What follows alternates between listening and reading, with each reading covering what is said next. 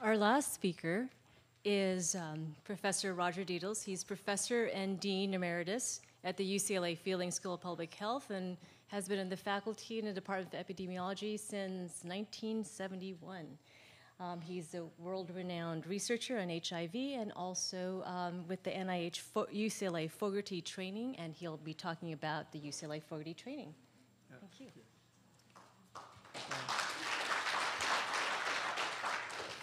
Uh, ni hao ma. uh, it's late, so I, I, will try not to take too much time. I'd like to start uh, actually with the last slide, if I can figure out how to use it. No, I can't. All right. Uh, uh there we go. Okay. Uh, the uh, Fogarty program uh, began in 1988, uh, and China was one of the first uh, countries with which we established a relationship. Uh, and this slide uh, just shows you the number of graduates of the program in each of the countries with which we have cooperated. two of them, Brazil and Hungary, are not in, in Asia.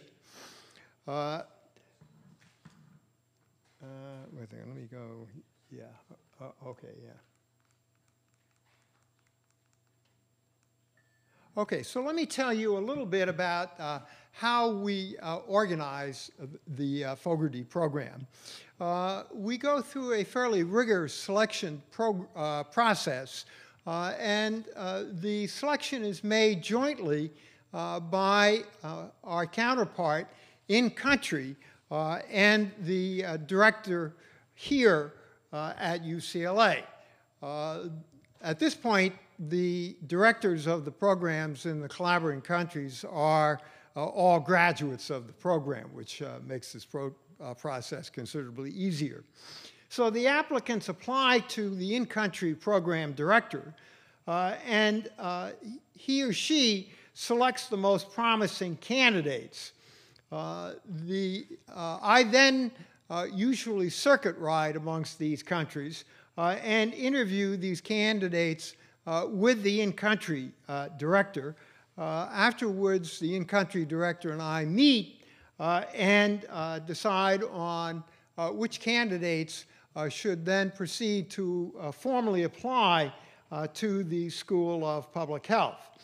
Uh, the Department of Epidemiology Admissions Committee uh, then considers uh, the uh, applications and recommends to the admission, admissions committee to, and the admissions committee decides on whether the candidates should be admitted to the program, and they are admitted to the program.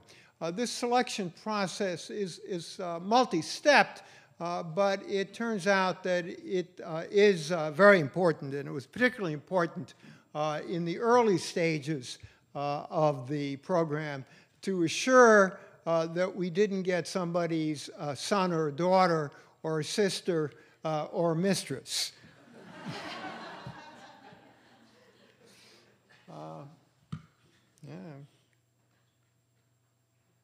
All right, okay, it's got to go the other way. Yeah. All right. So uh, let me tell you a little bit about uh, what, uh, what the program is. Uh, in the first year, uh, the trainees take courses in basic epidemiology, biostatistics, uh, and because this program was originally funded with money earmarked for HIV AIDS, they take courses in HIV AIDS. The second year, they take advanced courses in research methodology, and that really is the emphasis uh, of this program is to train uh, in uh, research methodology and public health. in the third year, the students take the doctoral qualifying exam, and then once they pass the doctoral qualifying exam, they prepare and defend a research proposal. Now, the, the research proposal uh, has to have uh, certain uh, characteristics. First of all, it has to demonstrate uh, an understanding uh, and application of research methodology. Uh, it has to be on a topic that will contribute to the understanding of HIV or related uh, diseases and contribute to the advancement of policy uh, in the home country. Uh, and it must be approved by the doctoral committee uh, and the U.S. And director from their homeland. Then in the fourth year, they implement the dissertation research proposal in their home country with the assistance of the in-country director. And in the year, fifth year, or the end of the fourth year, they come back uh, and defend uh, that dissertation. Uh, now, um, what uh, I'd like to give you some examples uh, of what uh, the dissertation topics are. I'm not going to run through all of these because it would take too much time, but I wanted to give you an example of a, of a couple, oopsie daisy. yeah. Okay, am I? Yeah, okay. Uh, let me see. Okay, I still got to go back one. Uh, yeah, uh, for example, uh, one project uh, was done uh, in order to improve the quality of the methadone maintenance programs in China. China was one of the first countries to formally establish uh, methadone maintenance clinics. Uh, and they uh, had to expand from uh, a few uh, pilot methadone clinics to over 300 uh, methadone clinics in a matter of months. Uh, China is one of the few countries that could pull that off, uh, but they did. But uh, we did a study with one of the students in one of the provinces to look at the variations in the uh, success rate of the various methadone maintenance clinics. So some methadone maintenance clinics had uh, a retention rate uh, of only about uh, 10 to 15 percent, uh, whereas others had a retention rate of something on the order uh, of 70 to 80 percent. and so one of our students, Lin Chun Ching, I guess I'm not doing too well on this yeah, Lin Chun Ching, uh, did a study to identify what were the factors uh, that predicted uh, the success uh, of a methadone program in retaining uh, drug users uh, in the program. and what she found, in fact, was that a key factor was the staff, not surprisingly, uh, and one of the issues of the staff uh, was their need to be recognized uh, for uh, what they were doing. Uh, and so this was translated uh, subsequently into policy in terms of how the methadone maintenance programs are organized. we, another student, let me see if I can get this thing to work. now, we had a similar study uh, done. Uh, uh, okay, what am I doing wrong? Ah, there we go.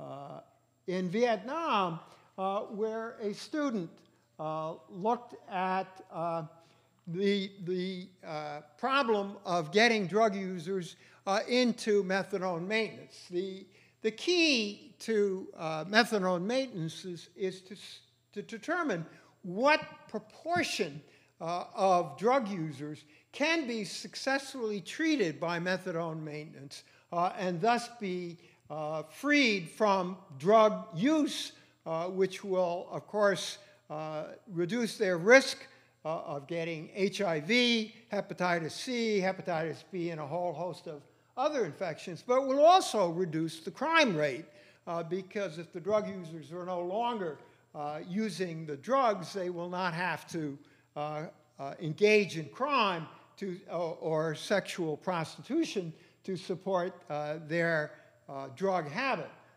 so Dr. Nguyen looked at the issue of what are the barriers among drug users in the community uh, to entering in uh, to uh, drug maintenance programs. and this gave us some sense of what proportion of the drug users in the population uh, are actually responding to the methadone maintenance uh, programs. Uh, if I can go backwards a little bit. Uh, in the, uh, no, okay. I'm technically compromised. Uh, we also had another student, uh, let me see, uh, where is she? Yeah, uh, from Fudan, that went back to Fudan University, is on the faculty, uh, who realized that one of the things that was happening in China uh, was that uh, although uh, the HIV rate and the rate of uh, injection drug use was declining in China, as was demonstrated by another of the students, there was an increase in what we call club drug use. Uh, and so she did a study of the use of club drugs in Shanghai and their relationship uh, to risky sexual uh, behaviors, uh, which uh, was of great uh, assistance in terms of designing HIV control programs, recognizing the rapid increase in this particular risk group. Now, there are a lot of these dissertations, but there isn't enough time, all right? We're, we're losing here, all right? Uh, I did want to summarize uh, by uh, pointing out that what we uh, tell the students uh, is that we, in fact, uh, want them to uh, publish their dissertations in international referee journals. Uh, and uh, as you can see, uh, China is the sweepstakes winner for the number of publications. but we've had quite a few uh, publications uh, from the graduates uh, of the program. Let me just see, I think I have one more. okay. Yeah, okay, that's.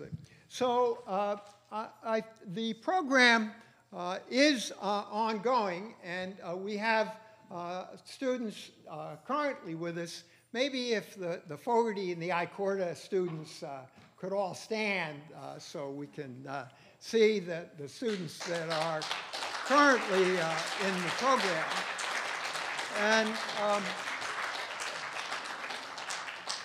I, I, think one of the things I like to emphasize is uh, that's the reason uh, I keep teaching, is all those students that just stood up uh, and make the teaching worthwhile.